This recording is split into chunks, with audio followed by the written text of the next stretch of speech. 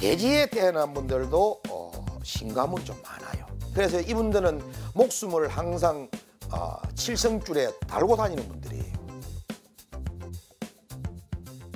자, 선생님 이번 시간에는 2021년도 또 돼지띠. 전체를 쭉 봐가지고는 데이티에 살아계신 분이 이제 99세인데 제일 높으신 개생이라 그래가 99세인데 을해생 87세 27세 정해생 75세 15세 기해생 63세 3세 신해생 51세 개생 99세 39세 그렇거든요 구자가 좀 많죠 이?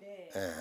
그런데 이제 조심하셔야 될 분을 제가 말씀드리면 혹시 살아 계시다 그러면은 99세고 39세 되시는 분은 삼재와 관계없이 올해 좀 조심을 하세요. 왜?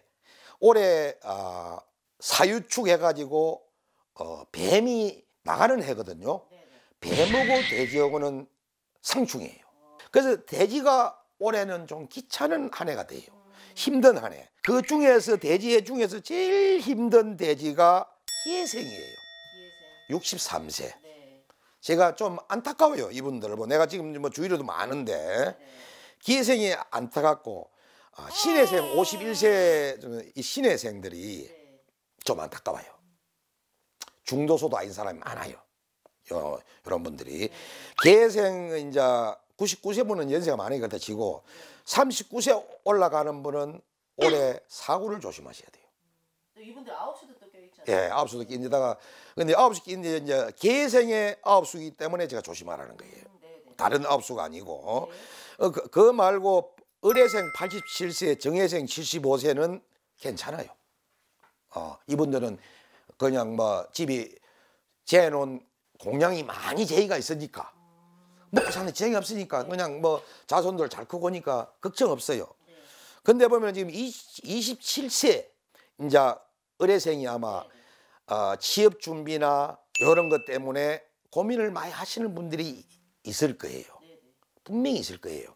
있는데 이분들 같은 경우에는 올해 어, 안 떨어 안 된다고 낙담하지 마시고 한 번 더 보시라. 내년에 이민년에는 데이트가 좋거든요. 그래서 올해는 좀 힘든 한 해가 될 거예요. 준비하는 애. 예, 준비하는 애. 그다음에 15세. 요 중학생인데 네. 아들을 가진 엄마 아빠는 좀 조심시켜야 돼요. 학교도 사고 쳐요. 그리고 지금 아마 요 나이에 있는 애 중에 좀 사주가 좀 좋지 못한 청간지가 좋지 못한 애기들은 네. 아마 가출 애기들도 들이 있을 거예요. 엄마 아빠가 좀 사춘기에 신경을 써서 자제분들이 올바른 길을 갈 수 있게끔 길을 닦아주시면 좋겠고. 어? 근데 기회생 여분들이 참 고생을 많이 했어요. 어중간을 해 태어나가지고 네. 고생을 많이 하셨는데 아, 무술생 못지않게 기회생들도 좀 힘들다.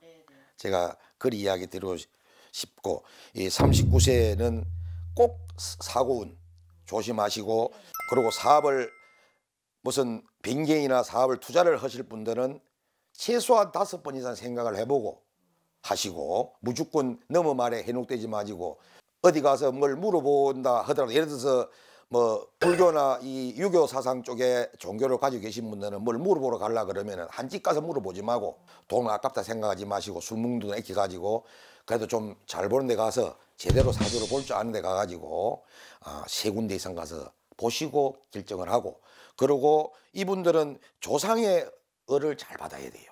이분들 중에 대부분이 보면은 이분들 중에 이제 다 그렇지는 않지만도 어릴 때 세 살 때 요 때부터 지금 63세까지 오시고 지금 87세나 99세에 오신 분들은 분명히 죽을 고비를 한두 번씩은 넘겼을 거예요.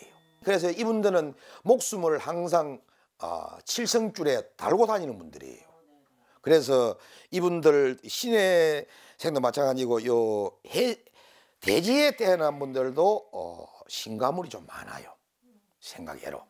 그래서 이런 분들이 신가물로 안 가시는 분들은 보면은 뒤에 월일시가 좋아가지고 그리고 이제 간상수상이 좋아가지고 간으로 가신 분들은 아, 신가물이 없을 수가 있어요. 없을 수가 있는데 이제 그런 쪽에 많이 가 계신 분들이 많아요. 그래서 내가 이제 꼭 조심하라고 1년분은 39살 개생 차를 타고 움직이고 하시는 분들 중에서 아, 화물차를 타고 유통일 하시는 분들은 대행 사고를 꼭 조심하시고 충분한 휴식을 장거리 갈 때 휴식을 취해가면서 운전을 하시라.